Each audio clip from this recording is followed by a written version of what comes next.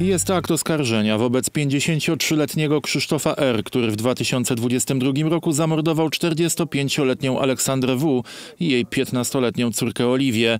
Mordercą okazał się ich znajomy. Teraz mężczyzna przed sądem odpowie za podwójne zabójstwo, ale nie tylko. W śledztwie prokurator przedstawił Krzysztofowi R. zarzuty podszywania się pod osobę Oliwii, W. celem kierowania obraźliwych treści do jej znajomych na portalach społecznościowych, rejestrowania wizerunku nagiej Oliwii W. przy użyciu ukrytej w jej pokoju kamery, a także dopuszczenia się tzw. innych czynności seksualnych wobec Oliwii W., kiedy dziewczyna miała 14 lat. Kobiety zaginęły 10 lutego 2022 roku. Ich poszukiwania trwały kilkanaście dni. Kluczowym okazał się materiał z jednej z kamer monitoringu, na którym widoczny był samochód należący do 45-letniej Aleksandry W.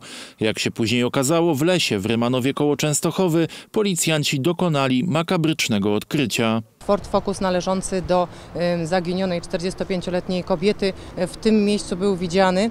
E, potwierdził to również e, świadek, który e, również stwierdził, że takiego Focusa tutaj w tym miejscu widział. Dlatego tu już wczoraj rozpoczęliśmy przeczesywanie terenu i dzisiaj policjanci podczas kolejnych prób sprawdzania tego rejonu natknęli się właśnie na zakopane zwłoki Według ustaleń śledczych 45-latka spędzała wolny czas w swoim ogródku działkowym. To tam Krzysztof R. miał pozbawić ją życia, a następnie wsiadł do jej samochodu i pojechał do jej miejsca zamieszkania.